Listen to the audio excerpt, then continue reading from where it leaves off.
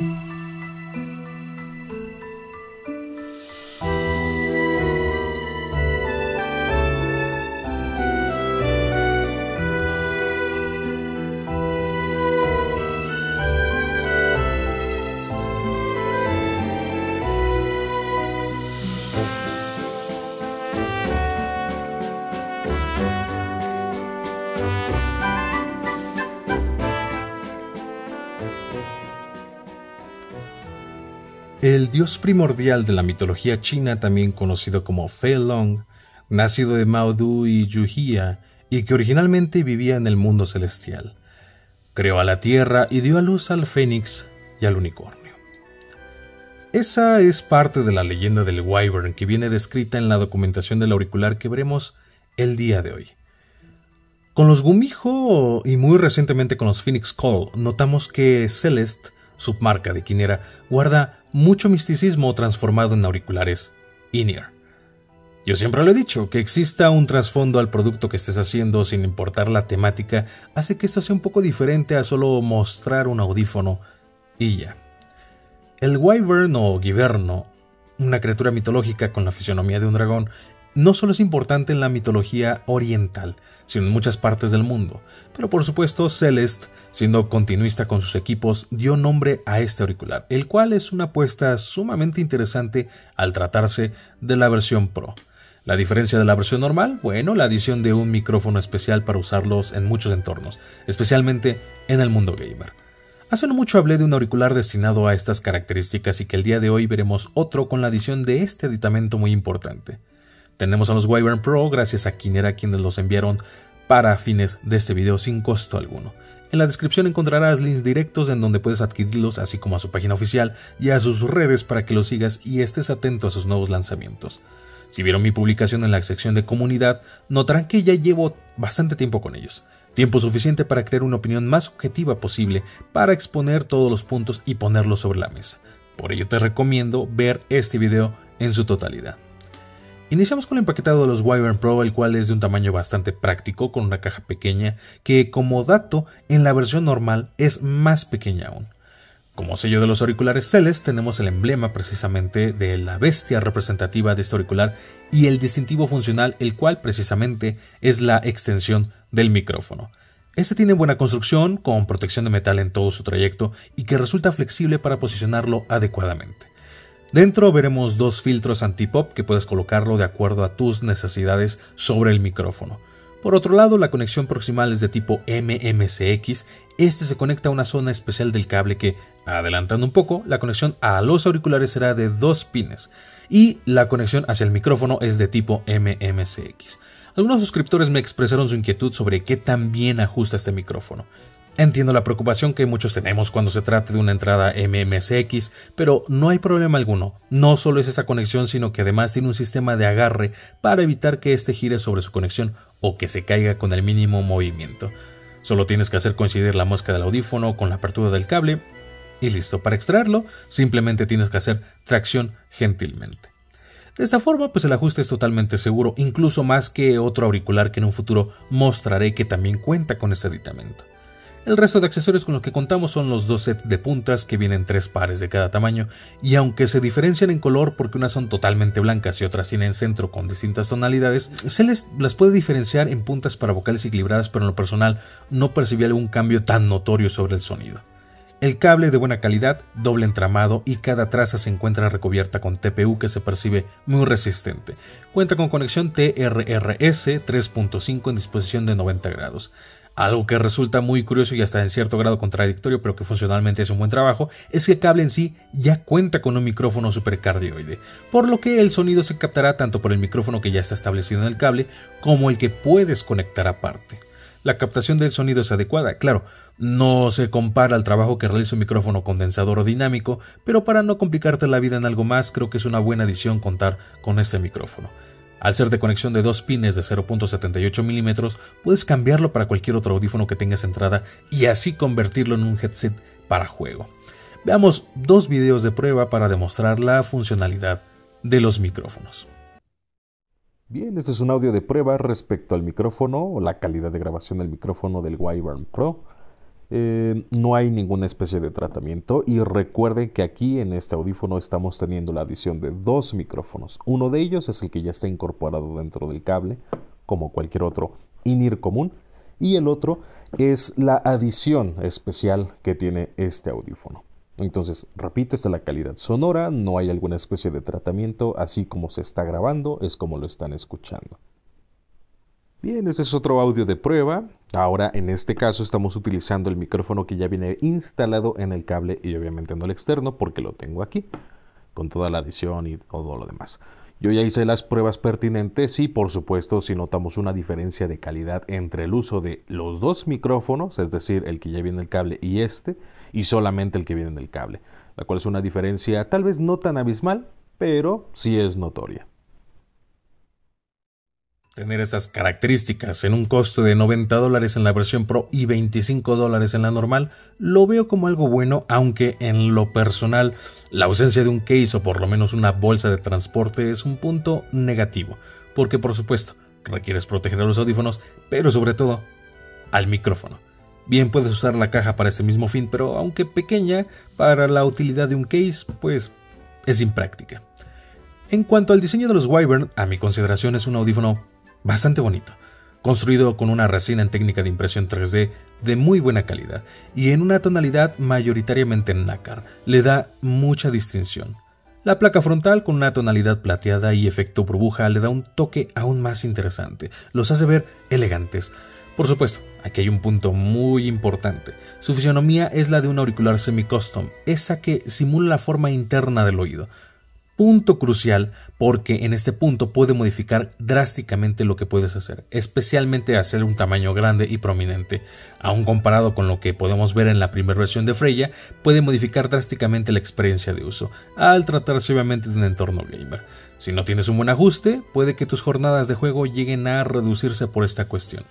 En mi caso tuve un ajuste adecuado, pero luego de 45 minutos llegué a percibir un poco de incomodidad, especialmente en la zona de la cimba del oído, justamente donde este pequeño bordecito llega a anclarse. Ya lo he dicho antes, la ergonomía con auriculares de este tipo es como lanzar una moneda al aire. Si da la casualidad de que la forma del audífono es parecida a la de tu oído, será una experiencia muy agradable. Pero si no, la incomodidad será lo que arruine todo esto. Son audífonos ligeros, lejanos a percibirse frágiles, eso sí, pero con un adecuado tacto, muy resistente. El aislamiento pasivo de ruido exterior es superior precisamente por su forma. Considera este punto que estoy diciendo porque muy independientemente de lo que mencionaré sobre su sonido, recuerda que la comodidad es lo más importante.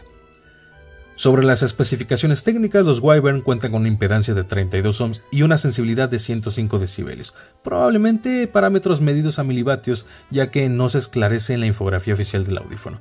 Si bien estas cifras nos hacen pensar en un audífono que podría ser un poco difícil de mover, en la realidad no hay tanto problema. Por supuesto, requieres de un equipo de audio dedicado para moverlos, pero nada que te preocupe en realizar una inversión muy grande. Un dongle DAC básico como un Ni-Fi Go Link te dará un resultado adecuado si se trata de su uso para la música. En cambio, para cuestión de juegos, la potencia de tu equipo básico es más que suficiente. Lo digo de esta forma ya que pocos dongles se adaptan a un micrófono, así que toma esto en cuenta.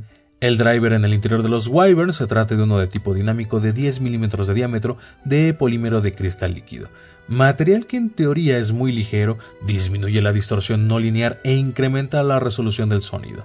Ya hemos tenido auriculares con esta clase de construcción en su driver dinámico. Veamos entonces qué es lo que los Wyvern tienen para distinguirse de los demás.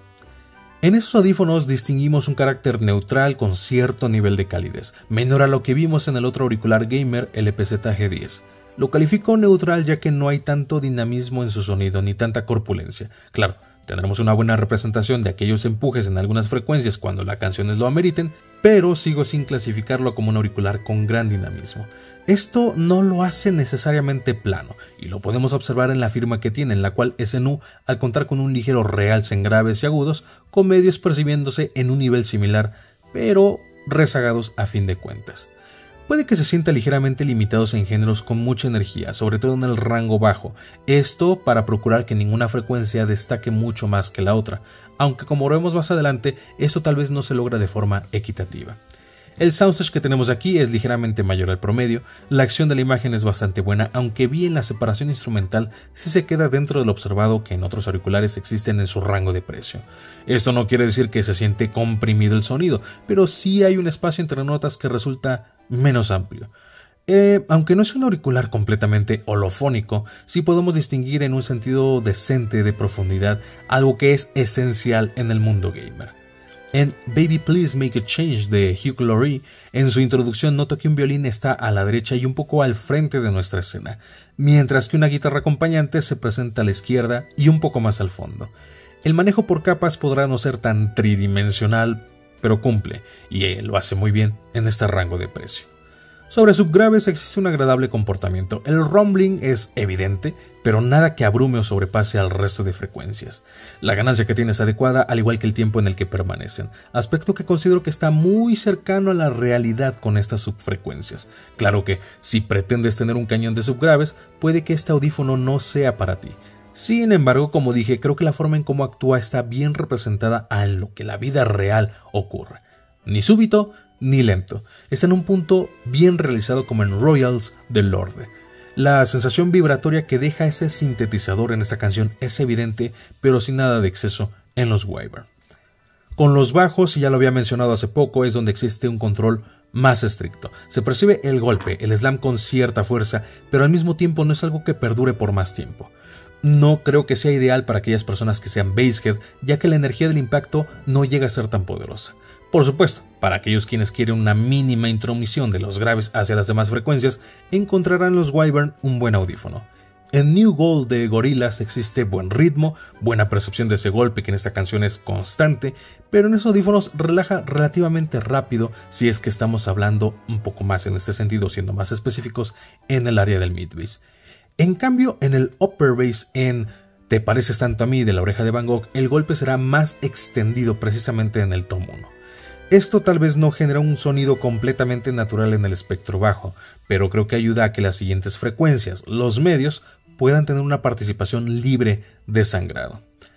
Sin embargo, aquí ocurre una ironía. Los medios de forma general se escuchan con un ligero velo.